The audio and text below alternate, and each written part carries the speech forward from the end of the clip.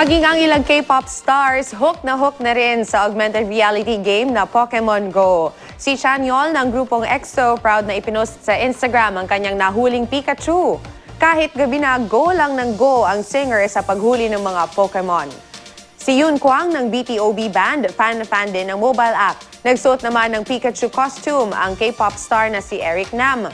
Ang singer naman na si Jung Jon Young, proud sa nahuli niyang rock-flying type Pokemon na Aerodactyl.